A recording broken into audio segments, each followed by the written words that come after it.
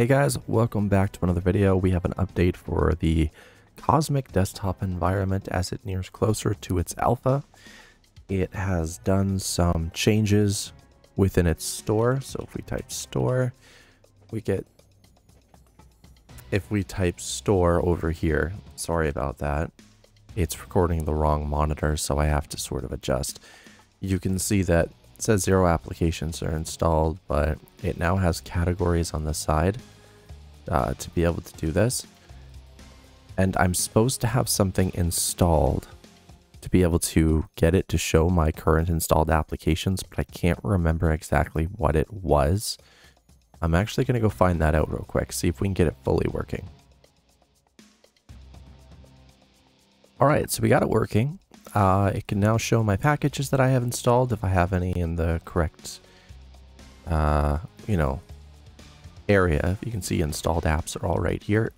Other than that, I don't think there is much installed at all in terms of graphics or anything like that. That's that's pretty cool. Uh, their tiling application seems to be working out fine over here, which is nice. And they've done, I guess, a bit of optimizing in the back end like anything would do. Um, one of the good features that I'm glad they did was minimizing applications. In Fedora, it would show a live preview of what's on the dock. So maybe they changed that. Who knows? Time and language, system accounts, sound is still a to-do, which is not good, but we gotta give them time. Ooh, let's test the screenshot utility. Ready? Hey, there it is. So it saves to picture, to documents. Uh, you have the full screen window and of course able to select. Look at that. Cancel that out. We are able to record again and it's actually smooth now, which is nice. That hasn't regressed. I'm still not able to use the battery stuff, even though when I had the System 76 stuff installed, it still didn't work, so I don't know what's required for that. But they say they are, uh, a developer is going to try to make it so it just uses Power Daemon or Power Profile, which is nice. Um, check out some of the other apps here real quick, see if there's anything different overall. Not that I can see. On that app, anyway. Let's try Cosmic Files. Can we minimize this? Yeah, it just minimizes now on itself, which is nice. Yeah. I mean, it looks good. There's settings, theme, match desktop, show hidden files is there now. That's good, that actually works. New window, tab, move to trash. Operations. What is that? Must be like when you're deleting something and you need to, you know, view it. Yeah.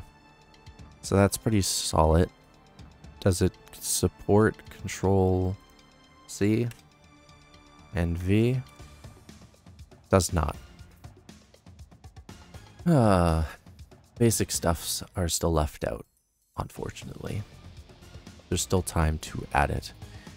The beta or alpha, the alpha, sorry, is supposed to be released sometime in May. They uh, they told us this a while ago. I don't think this is this one. Road to Alpha. Um, is there a blog I can jump to? Blog post. Yeah, more alpha, more fun. So they pretty much finished the hybrid graphics, the minimize, restore, the new wallpapers. And they're going to showcase these in a different blog post. The tiling applet is done. Let's show some of that, I guess. Let's open up a bunch of windows. Click it. Turn it on. And... Well, I did turn it on, right? Toggle floating window. Move. Floating window. Active hint.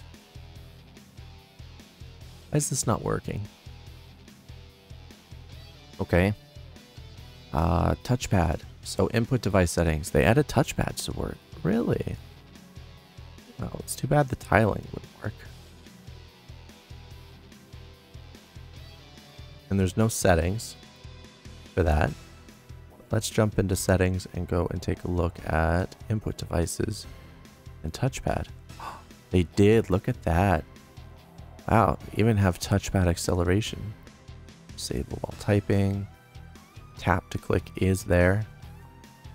There's all your swipes. So your, you know, your stuffs for your touchpad so you can get things done. What about mouse? Not bad. Keyboard inputs still the same though. Final stretch. So the Cosmic Terminal is a terminal's not done. Yeah, they want to include support for dragging and dropping file paths into the terminal, as well as confirming dialogues if the user attempts to close the terminal while process is running. Cosmic Edit to finish up the Cosmic Text Editor. We're in the process of adding spell check and the ability to restore a session, and a feature to revert all changes in your session. Nice.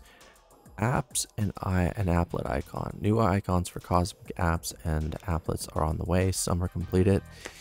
It is right, some are completed. Uh, these icons, this icon is new specifically right here. And there's a few new ones as well.